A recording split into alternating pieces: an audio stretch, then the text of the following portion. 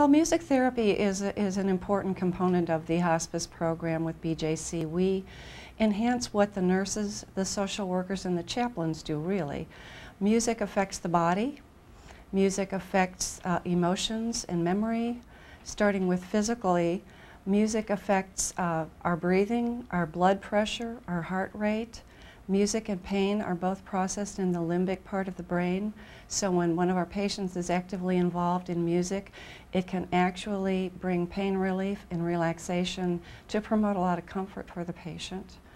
Music um, brings back memories, so we use music for doing a lot of life review, having the patient and their families share memories that are brought up by music. You know, you hear a song maybe you haven't heard since high school and you hear it just brings back memories and you can smile and remember highlights of your life. Uh, also use a lot of music for sp uh, spiritual support that enhances what the chaplains do too as well, just to help that person just be ready.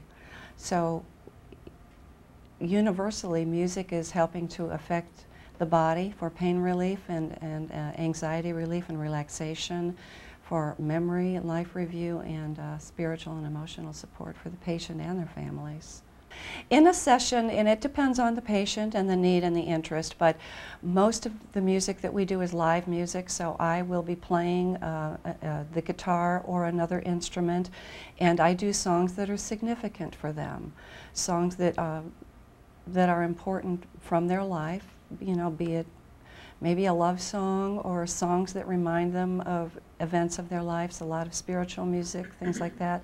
So I will sing and play, and oftentimes the patient will sing, the, the family will sing, or they will choose songs that are significant, and the family may be near and, in the room with us, and, and we're, we're singing. And the first thing that happens with that is if a patient's having pain or anxiety, just starting to hear music that they enjoy takes their mind off of what's going on with their body. So it, it starts as a distraction. And then from there, the music starts to work to, to calm and relax and bring comfort for the patients. So yes, I'm playing and singing. Sometimes they're singing.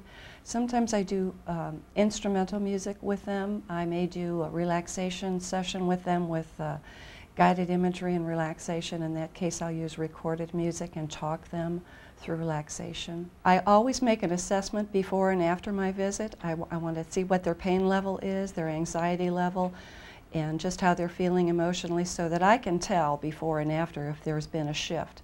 And almost always they tell me their pain is down. They're relaxed, they're uplifted. To my knowledge, no other hospices in this area have music therapy services provided.